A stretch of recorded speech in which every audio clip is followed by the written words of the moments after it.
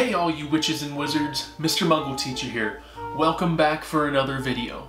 Today we are going to be doing an in-depth review of Harry Potter and the Philosopher's Stone, the Hogwarts House editions for the 20th anniversary.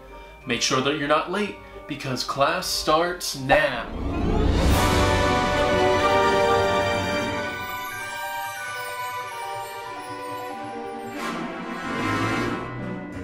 Thanks so much for tuning in today. If you didn't subscribe yet, consider clicking that subscribe button and the notification bell to make sure that you get updates whenever I post new content.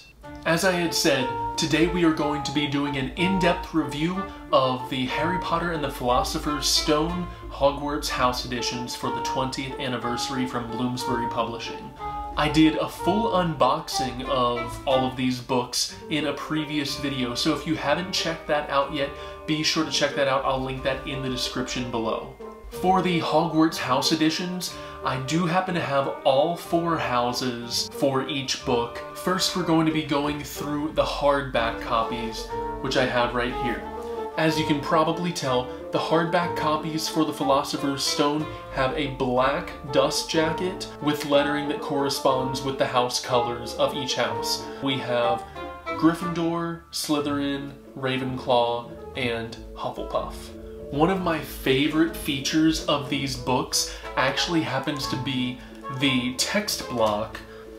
The text block, as you can probably see here, all of them have unique striping that meets all of the house colors from the four different Hogwarts houses.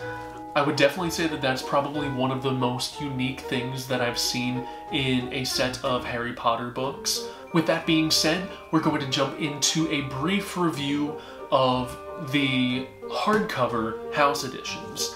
The first one that we have is the Gryffindor edition. Now, one of the really unique things about the Hogwarts House editions, each book has specific new information at both the beginning and the end of each of the books, which happens to be about the founder of the house and just kind of gives a little bit of perspective from that house's perspective. So for Gryffindor, in the very beginning of the book, we have a portrait of Godric Gryffindor with a excerpt just kind of welcoming the reader and giving an introduction to the Gryffindor house.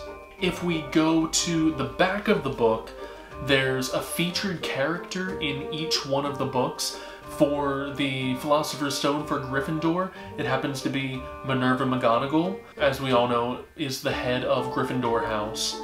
So they give a little bit of detail and just more information in these books than we had in the original series. Moving right along to the Slytherin edition, as you can probably guess, in the beginning of the Slytherin edition, there is a portrait of Salazar Slytherin, as well as a welcome and just a little bit of background for the Slytherin house. If we flip to the back of the book, the featured character for Philosopher's Stone is Severus Snape. Moving right along to our Ravenclaw edition. The Ravenclaw edition, in the beginning, as you can probably guess, does have a portrait of Rowena Ravenclaw, as well as an introduction and a little bit more background for Ravenclaw House. Now, in the back of the Ravenclaw edition, we have a portrait of Filius Flitwick, as we all know, is the head of Ravenclaw House, and we have some additional information about Professor Flitwick. And last but certainly not least, we have the Hufflepuff edition Philosopher's Stone, which as you can probably already guess, in the beginning of the book we're going to have that beautiful portrait of Helga Hufflepuff, as well as additional information, a welcome to the book about Hufflepuff House. And in the very back of the book, we have the featured character, none other than head of Hufflepuff House, Pomona Sprout. So, that's a little bit of the additional information inside of the books. Now I want to talk about some of the really unique things on the outside of the books. On the front of each book, we have this really, really beautifully drawn crest All of the cover artwork in these books is done by Levi Pinfold. And one really cool thing, all of the house editions have a unique cover, whereas if you look at them next to each other really, really quickly, it all kind of looks like the same type of crest. But if you look really, really closely, we can see the badger on the Hufflepuff edition, the snake on the Slytherin edition, the eagle on the Ravenclaw edition, and the lion on the Gryffindor edition. In addition to the specific crest, the elements that are surrounding each of the crests are unique to each of the books. So be sure to check those out because there's a lot of beautiful detail that goes into each one of these that I'm definitely glad that I've taken the time to appreciate and not overlook. As we finish up the front cover of each book, you'll notice that at the bottom, underneath the crest, there are the traits of each of the specific houses, which is also a very unique thing to this specific set of books. On the back of each book, we have the Hogwarts house ghost for each of the four houses. So for Hufflepuff, we have the Fat Friar. For Slytherin, we have the Bloody Baron. For Ravenclaw, we have the Grey Lady, which we all know who that is. If you're not sure who it is, go back and read the books again. And for Gryffindor House, we have Sir Nicholas, aka Nearly Headless Nick.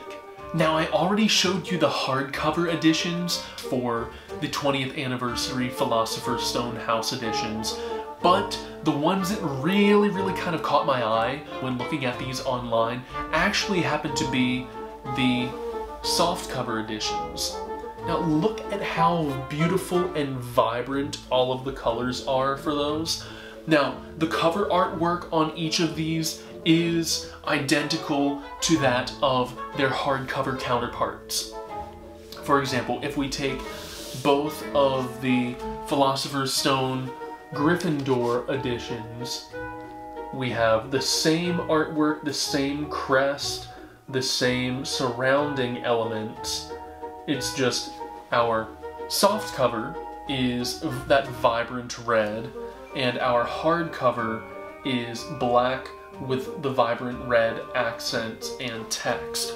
One other thing that I feel is really important to mention on the paperback versions, this seems to be a really, really high quality paperback book.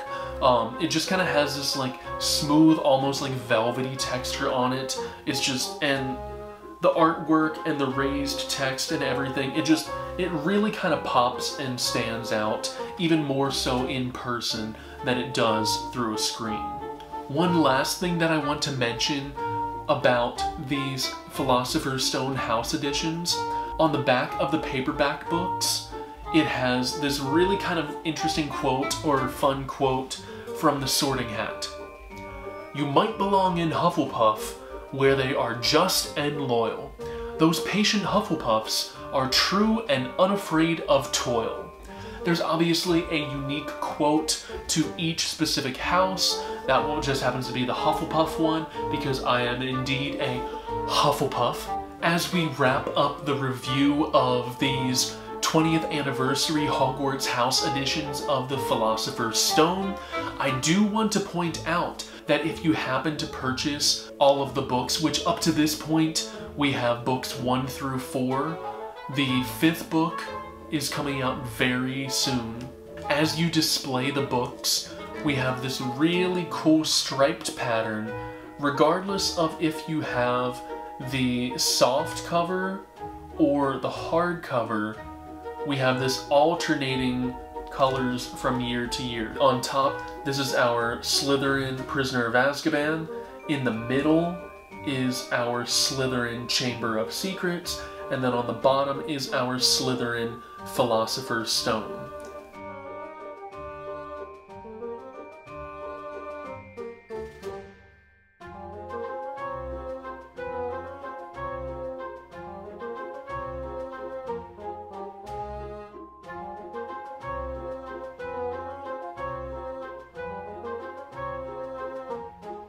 I hope you had fun following along for these 20th anniversary Harry Potter and the Philosopher's Stone Hogwarts House editions. If you want to purchase your own copy, I will post links to each book in the description below. In the coming weeks, I will be doing full in-depth reviews of Chamber of Secrets, Prisoner of Azkaban, and Goblet of Fire, and eventually when Order of the Phoenix comes out. I want to thank you all for tuning in today. Be sure to click that subscribe button if you haven't done so already. Like the video if you liked it, share it with a friend, and also be sure to check me out on all of my other social media channels, Facebook, Instagram, and Twitter at Mr. Muggle Teacher. Thanks so much for tuning in, and I'll see you in next class.